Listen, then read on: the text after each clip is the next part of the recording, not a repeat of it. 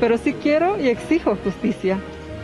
Mucha justicia para ella y para todas las mujeres, ¿sí? Y hay una historia que realmente no te vas a creer rodeando a los padres de Irma Lidia. Y es que ahora aseguran que ellos estaban cegados por la ambición.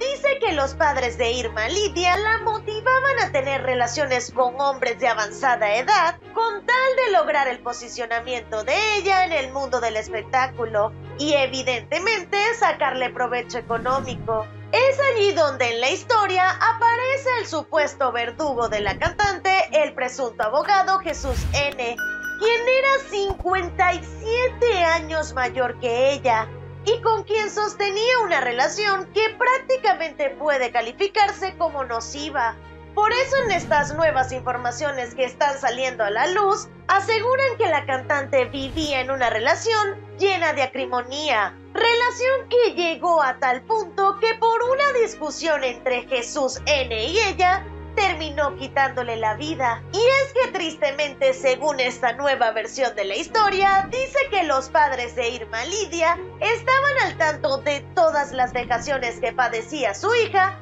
pero estos se hacían la vista gorda y le decían que tenía que soportarlo todo por los beneficios económicos que recibían de Jesús N.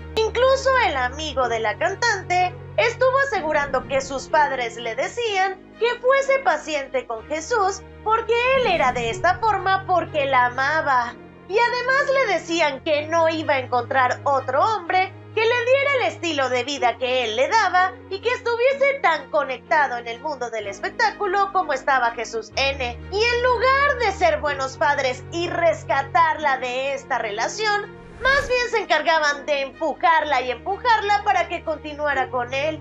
Por si fuese poco en esta historia, también aparece el nombre del empresario Carlos Quiñones, quien justamente también fue señalado de haber mantenido una relación con Irma Lidia, y además ahora en esta historia aseguran que él hizo que los padres de la cantante firmaran hasta un contrato porque ella era menor de edad y de esta manera podría cubrirse la espalda y evitar cualquier tipo de inconvenientes por la edad de la jovencita. La pregunta ahora con esta nueva versión de los hechos es hasta qué punto puede llegar la ambición de una persona que no le importe el hecho de que su propia hija esté viviendo una tormentosa relación y no busque ayudarla a salir de esa situación, sino más bien la aliente a seguir porque según ellos era algo normal porque ese hombre la amaba. Quiero saber qué opinan ustedes ante esta situación, así que vayan dejándome sus comentarios y no olviden suscribirse a nuestro canal y ubicarnos también en nuestra página de Facebook